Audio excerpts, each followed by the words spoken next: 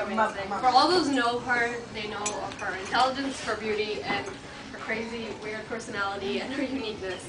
Um, I love my sister, and you know, whenever I think of her, I actually think of our childhood and how, like, no matter what, she was always afraid. She was always not afraid. She never let me down, and like, even if she felt she did, she always had ways of making it up to me. I remember one time, stupid, silly uh, memory that I have, but um, we were kids. She didn't take me to the park one time, and she promised me. I was like 10 or something, and um, she found time later on in her busy schedule. And my favorite movie, I think, was Mohabbatein back then. So when cassettes were around, she printed out pictures and made me a whole like picture frame kind of thing of Mohabbatein and all the characters. So basically, my sister has always made it up to me whenever something has happened or hasn't. So I just want to thank my sister and thank everybody and please come to the wedding and we'll have fun and do cake.